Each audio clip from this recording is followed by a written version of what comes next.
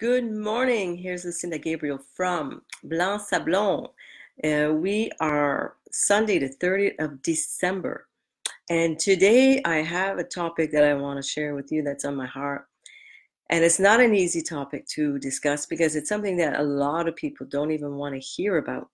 So uh, I'm going to wait to see if there's anybody uh, listening so far. I'll give it a few minutes for people to, to show up.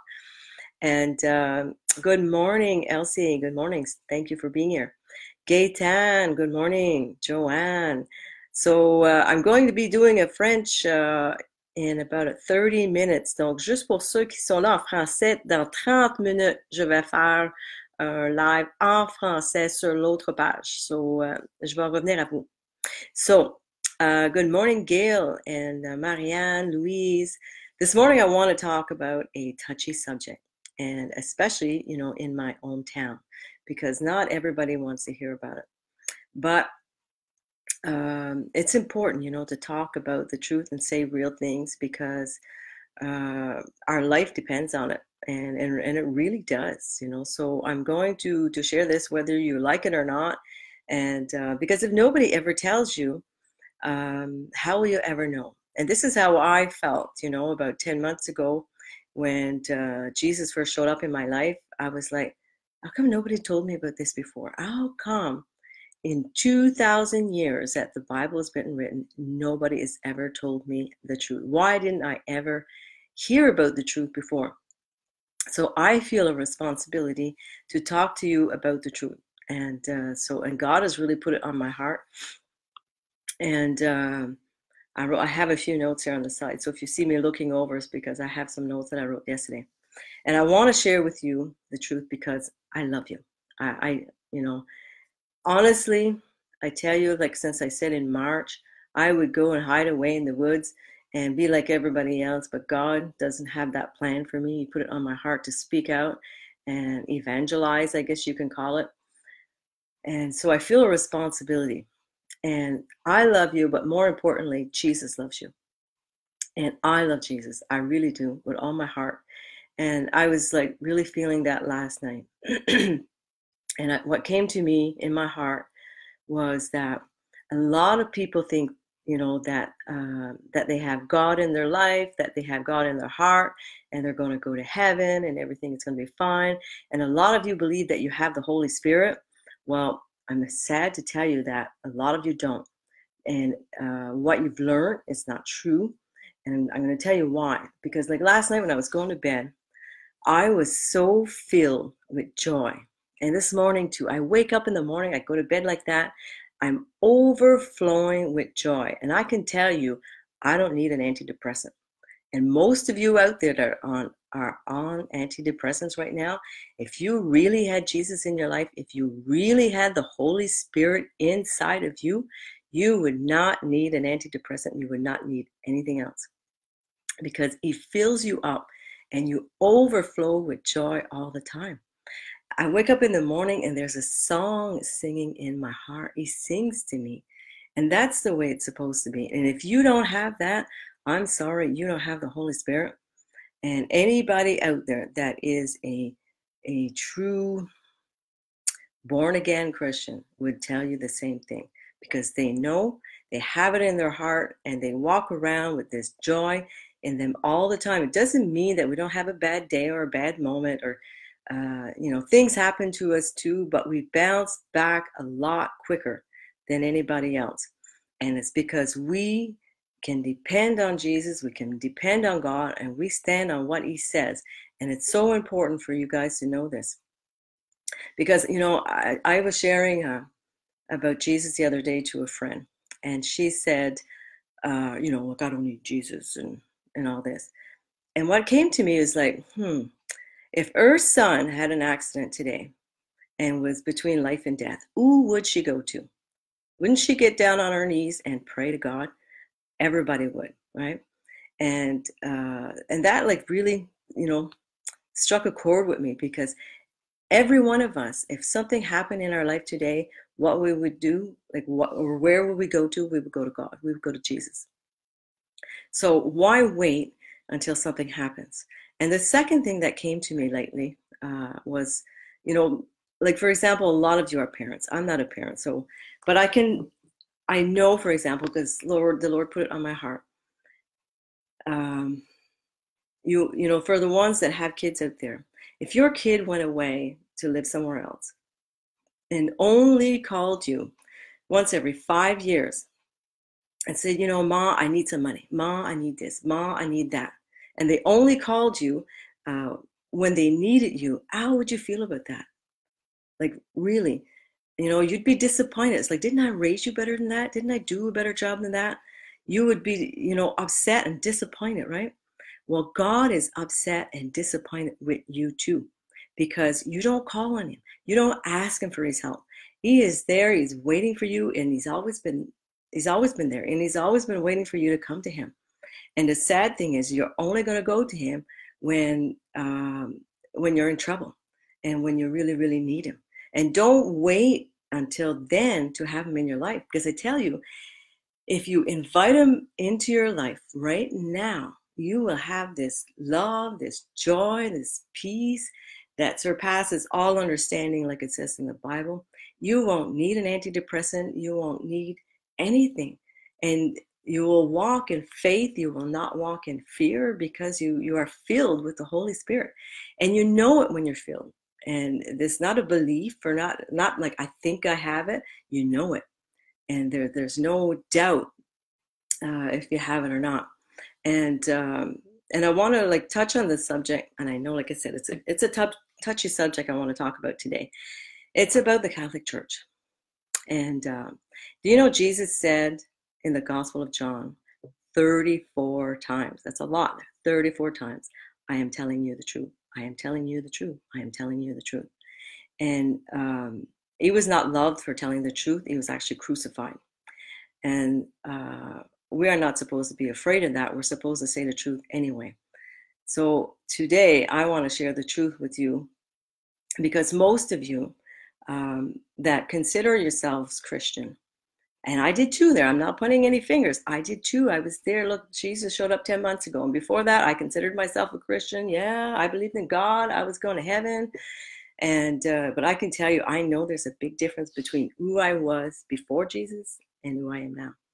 And, um, yeah, so I, you know, like myself as well. Before 10 months ago, I didn't pick up a Bible. I actually picked it up last year in January because Jesus told me to, God told me to.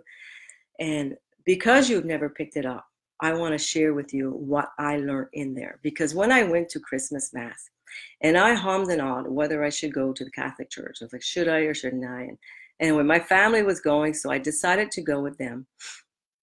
And when I was there, I, I, I remember why I didn't go. I didn't want to go. And but I think I went because I needed to talk to you about it.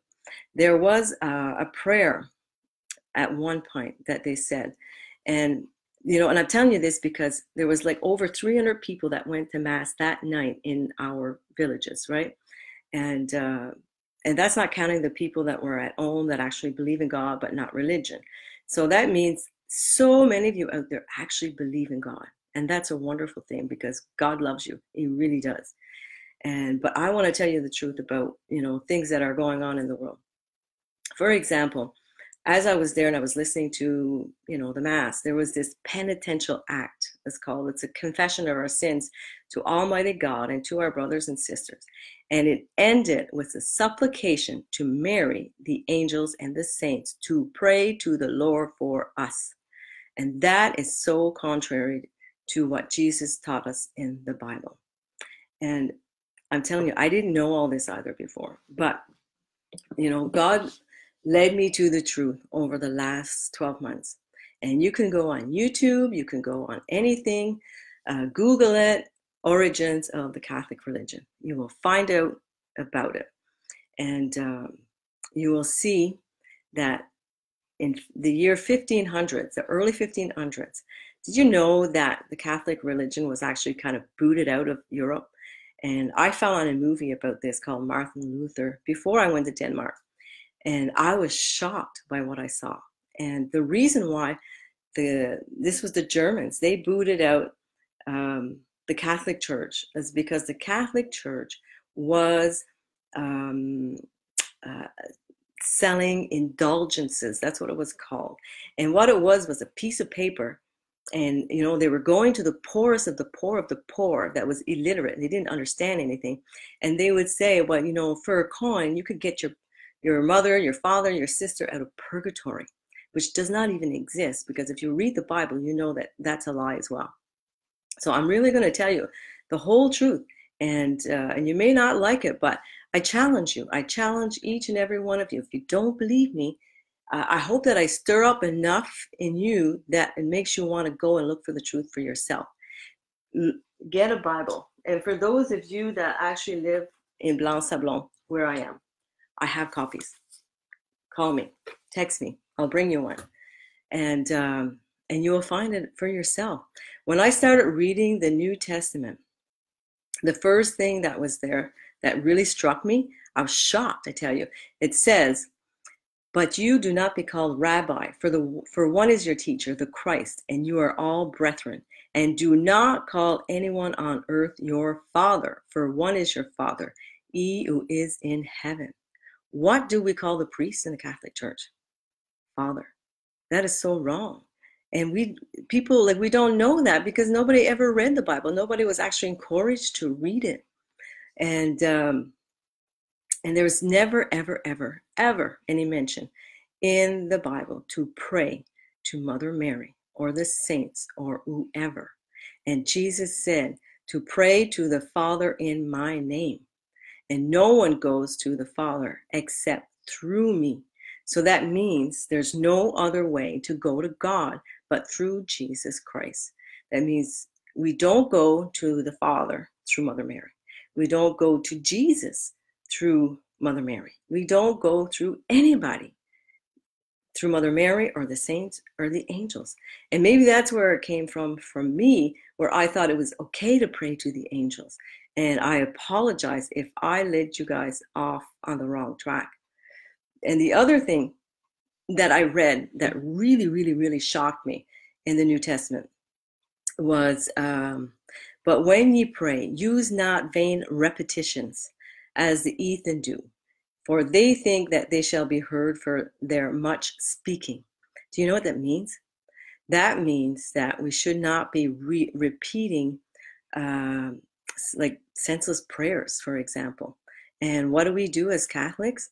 Well, we say the rosary. And I know some of you are not going to like this, and because you've been doing it all your life, you didn't know any better.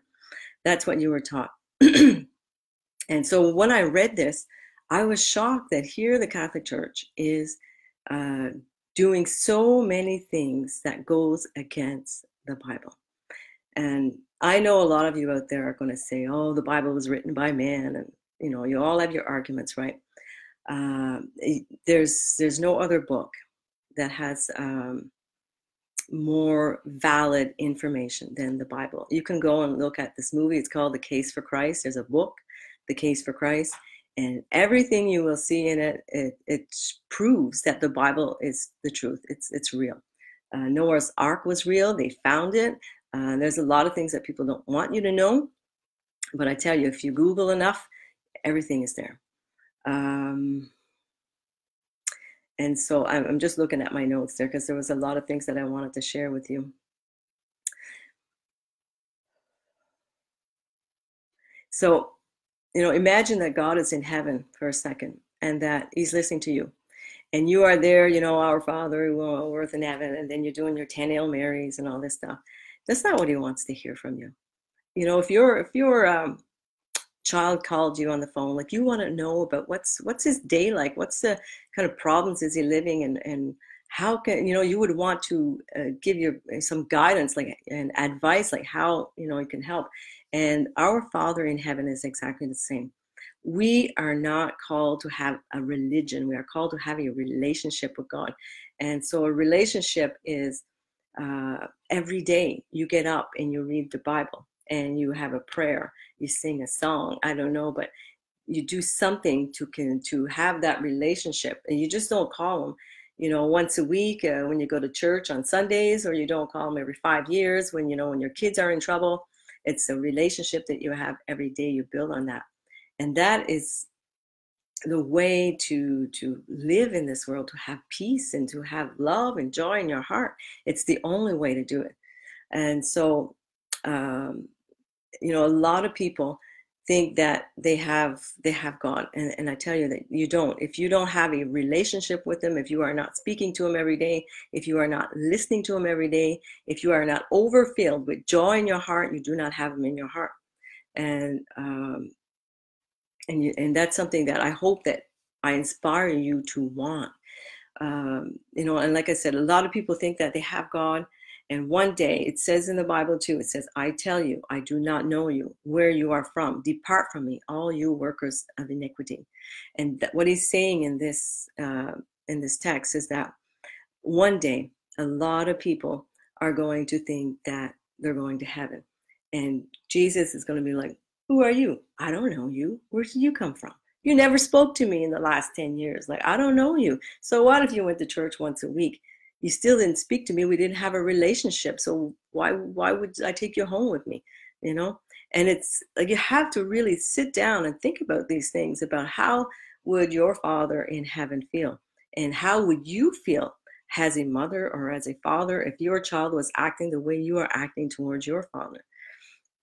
so I hope this is like stirring up a little bit of things in you, and um, and if you know, come back a bit to the Catholic Church. I don't want to bash the Catholic Church, but you know, you have to know the truth, and the truth will set you free, because um, you know, it's if statues, for example. Do you know that in other churches they don't have statues? if you you know it's I, I, was shocked i tell you i went in other churches i looked around and see what they had they don't have any statues of mary and the saints or there's not even a uh, jesus on the crucifix and do you know why because it says in the bible in exodus 24 you shall not make for yourself a carved image any likeness of anything that is in heaven above or that is in the earth beneath or that is in the water under the earth. You shall not bow down to them nor serve them. I mean, there again, it is, you know, things that we're doing in the Catholic Church that is wrong. We are not supposed to have a carved image of anything. So that's, uh, I believe it, it also includes the crucifix that we have up in the church. And um, you know, what is that reminding us when we see Jesus on the cross? It reminds us, it reminds us of his death. We are not supposed to remember his death. Do you know what we're supposed to remember? We are supposed to remember his resurrection. He is alive. He is alive. And that's what we're supposed to be celebrating is his life, not his death. Um, what else did I have here that I wanted to say? some things I've already said. So I want you to know that um, there's a lot of things that the Catholic Church are doing that is unbiblical. Another thing that is so, so, so important is the baby baptism. And I'm going to, you know, uh, talk about this over and over and over, and I have been for a long time, and I'm going to keep saying it every week. Is it's not proper. In the Bible, there is no place where a, uh, a child is baptized. You all, it's always written, repent and be baptized in the name of Jesus. So repent means to go to God and say, look, you know what? I am sorry. I am so sorry. And the thing is, too, you have to remember, we are all sinners, every one of us. And even after Jesus shows up in our life and we are, you know, uh, saved, we are saved in that moment, but it's a walk. It's not like it's black and white, I'm in or am I or I'm out. You have to keep on walking the walk and talking uh, the talk. You just can't say, well, you know, I was dipped in water and I'm saved. That's it. It's over with. I'm I can like rest now or continue to sin because it doesn't work that way. You're always working, you know, walking towards God or you are walking away. So you have to you have a choice at all all the time and don't judge people either about their walk everybody uh, falls back at some time uh, at some point uh, nobody's perfect but if they're at least trying encourage them encourage them on their walk and know that uh, you are not completely saved I don't believe this anyway. I don't believe we're completely saved until the end. When Jesus comes back, we are we'll, know then if we're saved or not completely. But until then, don't ever take anything for granted and keep walking though you know your walk. Um, it's very important too to um, to say that it, Jesus said that you know um, unless you are born of water and the Spirit, you cannot enter the kingdom of heaven. And um, what that means is that you need to be baptized in water. And the word baptism actually means immersion. You need to be fully immersed in water to not sprinkle like a baby, you know, fully immersed in water to receive the um, to die with Christ and to rise with Christ and to receive the Holy Spirit. You have to have that. Otherwise, you know, the the, the people like in the Catholic Church that believe that they have the Holy Spirit, they don't have it because they haven't repented. If you if your life is the same as it's always been, you're depressed, you're anxious, you're fearful, you're full of doubt, you're full of anger and resentment. I don't care. Like if you got all those emotions going on, you don't have the Holy Spirit because the Holy Spirit really comes in and uh, fills up all that space inside of you. Jesus sets you free. When you accept Jesus into your life and you are born again in water and the Spirit, meaning you've been baptized in the water and you receive the Holy Spirit, you will no longer have all these negative emotions because God is going to you know, flush all that away. That is all going to die in the water. It's such an amazing thing. And, you know, it's been 10 months since Jesus showed up in my life. And I tell you, 10 months ago, and when he wanted me to talk about it, I'm like, no, no, no, no, no. I cried for two days. I was not going to do this. And as time went by, the more I learned and the more I studied, I realize what a privilege, what a privilege it is to be chosen by God to share his love with you. And, you know, it, it really is a privilege. And to feel his love, to experiencing it, experience it myself and and have this whole new world, this whole new family of people that love God. Um, it's something that is irreplaceable. And there's such joy in it that you don't care about anything else. Like I don't care about money. I don't care about um, the material world anymore. It's not important. I'm I'm so filled with love and joy that the only thing I want to do is do good in God's name. That's all that really matters. And and that's what I wish for every one of you. I wish for all of you to wake up in the morning and to be filled with joy, have a balance in your step, and you'd want to get out there and live and and do good for other people. Um, there's so much to do there's so much to do. And you know the amazing thing that came to me in my mind lately is that um, if the whole world was really really you know focused on god uh, in love with god and glorify god the way we're really meant to that's what it's all about. Everything he's made was for him and uh, it was to glorify him.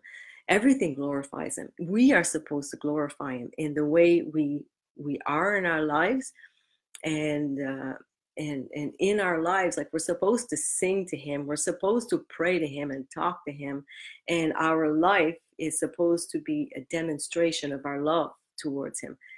And i know it sounds crazy but i know that's that's the truth that's the way it's supposed to be. And when you live your life that way you have such joy and such fulfillment that nothing else, nothing else replaces it, I tell you. And I just so want everybody else to be filled with this kind of love. And because there's a peace that nothing can take away from you. It doesn't matter what happens when you have the Lord in your life and you have the Jesus in your heart, nothing can take that away from you. And I don't know why anybody would want to choose to live any other way. And um, I'm just so happy that he showed up. And I just want to share his love with everybody. I want to inspire other people to invite him into your lives, uh, to want to experience this too. Because I tell you, there's nothing, nothing that's going to make you happier than to have Jesus in your life. And what we've had up until now in our town, I tell you, um, I, I, people know I was the most spiritual, the most religious person in this town, and probably like uh, Saul of Tarsus, I suppose, in that way. And um, and I had no spirituality, nothing compared to what I have now, because I have Jesus. It's totally different. It's totally different. And you know, I think. Uh, yeah, I think I'll wrap it up for, with that for now because I have another live in French in a few minutes. But I encourage you all to seek God on your own. And if if no matter what you're going through, if your children have problems, if uh, you have relationship problems, if you're sick, if you're, you know, have money problems, whatever it is, I challenge you to sit down and to speak to God and ask Him to come into your life. Ask Him to show you the truth and pick up the New Testament for yourself and um, and read it, and He will show you the truth. I started watching near death experiences. It just showed up on my Facebook page. And as I watched that, it led me one thing to another. And so many people died and crossed over and either went to hell or they saw Jesus. And every story I saw made me realize there's really something more to life than this. And you want to get it right, I can tell you, because you don't want to go to hell. And um, some of you might think that it's not real, it doesn't exist, but I tell you it does. It really does. And Satan is real as well. And I didn't want to believe it. Like when Jesus first told me the truth about that, I did not want to believe it.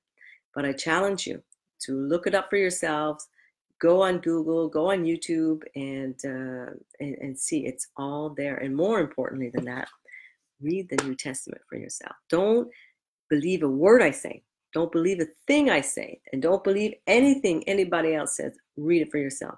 And when you start reading it, I promise you that the Lord will show up in your life, and uh, you will know. You will know that He is the truth. So, with that, uh, I'm going to leave you today, and I hope that uh, that it was good and you enjoyed it, and that um, and I see that the internet worked out pretty good this morning. So I should be here again next Sunday, and we'll continue the conversation. All right.